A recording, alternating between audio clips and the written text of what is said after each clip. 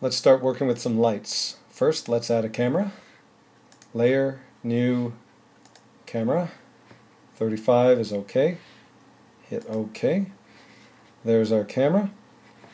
And let's uh, add a solid. We'll start with uh, the background.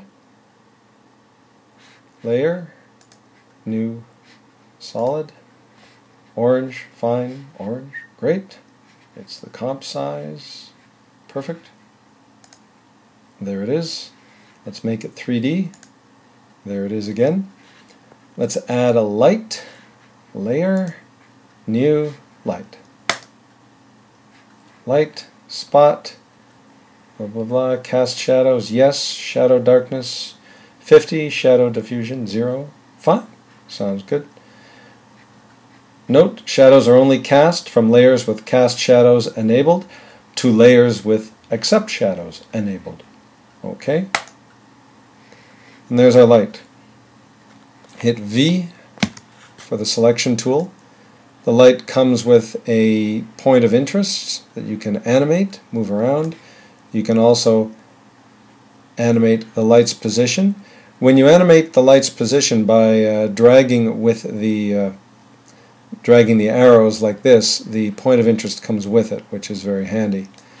And uh, let's hit AA to show the light's properties, or the light options as they call them. The intensity, this can be animated. All of them with a stopwatch can be animated. The color can be changed. The cone angle can be changed. The cone feather can be changed from 100% soft to 0% soft, which makes it a hard spot. Great for a vector kind of look. Let's undo that, go back to 90 for the angle and the feather at 50. Cast shadows on because we had it set to that. You can switch it off if you want. Uh, but that doesn't mean very much until we actually get something in there to start uh, showing some shadows.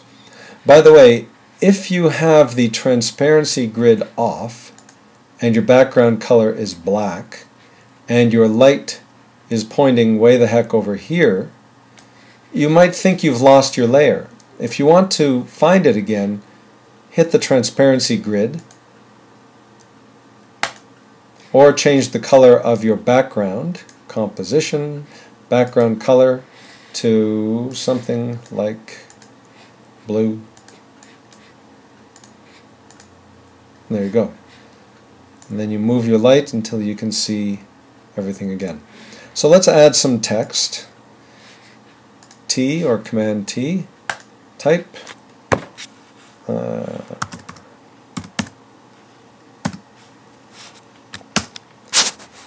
hit V, drag it. Okay, let's make it 3D. And there it is. If we move it, and we can do that by grabbing the little Z arrow there, it gets closer to the light, and so parts of it start going outside of the lighting cone. So be, beware that if you're if you can't see your text, it might be because it's simply not in the light.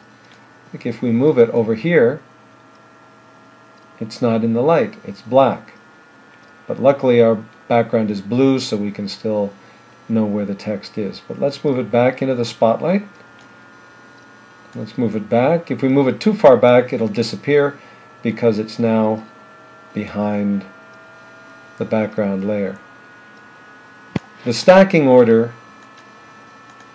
doesn't matter with 3D layers.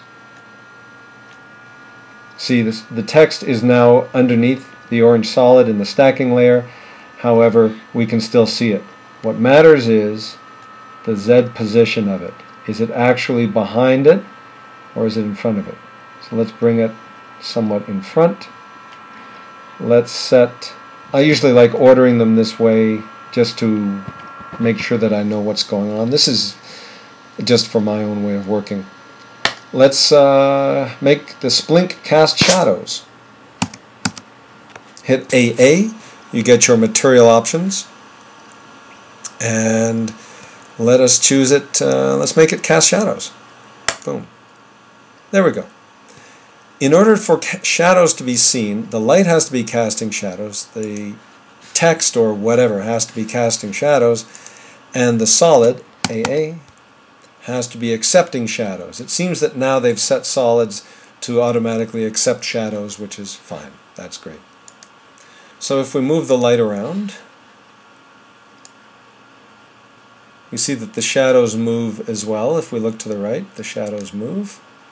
That's what we would expect them to do, which is great. If we move our camera around, hit C, we get another view of things.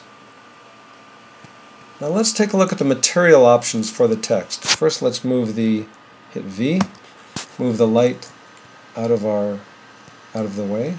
And let's look at the text material options, AA, and let's up the shininess. What does that mean? Well, if we up the shininess a lot, that means that the highlight that the light makes, the reflective highlight, is smaller. Let's move the camera around. See?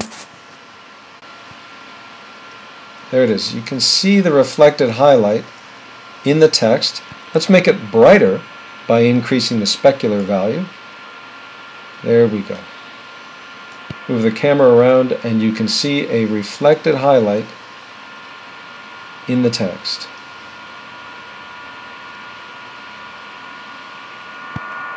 The metal function means that the highlight has color. If we decrease the metal function, the highlight is white and it has more of a plastic look.